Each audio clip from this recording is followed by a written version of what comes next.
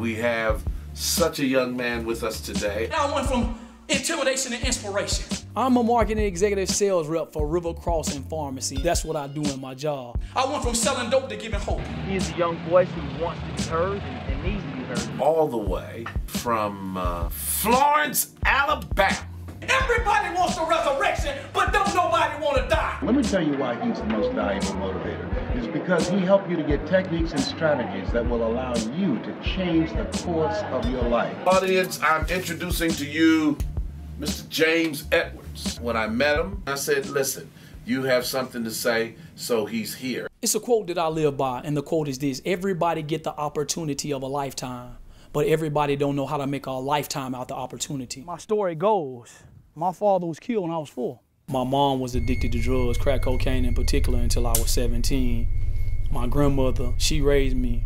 When I was 12 years old, my grandmother died. I moved in with my mom, and every single day it was verbal abuse, physical abuse, mental abuse. You got the power to create the life you want. 15, I sold my first piece of crack cocaine. We on Mobile Street at the old Connie Mart. I sold my first piece of crack cocaine at this place right here. I ran a serious cocaine ring from Florence, Alabama to Houston, Texas. He was the big Meech of, of, of Alabama. I was addicted to the power. I was addicted to the fame. I was addicted to the lifestyle. I wasn't afraid to die, period, at that point. I was going to Houston, Texas in an attempt to buy five kilos of cocaine. And when I got to Houston, the guy I was buying the cocaine from whipped a gun in my face, pulled the trigger.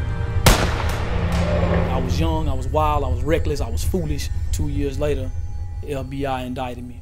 I went from a small city drug lord to the most valuable motivator. Let me challenge y'all. What's inside of y'all? When I opened my mouth, whether I was talking negative or positive, people would just draw to me. And I heard a still small voice on the inside of me say, There's nothing wrong with talking too much.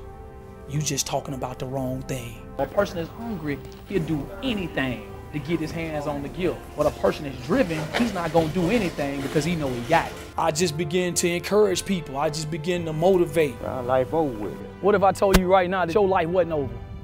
That you could turn yours around? I have a heart to just motivate people to bounce back from what they trying to bounce back from or trying to get up from the struggle. The very first man that gave me an opportunity to speak in front of a school.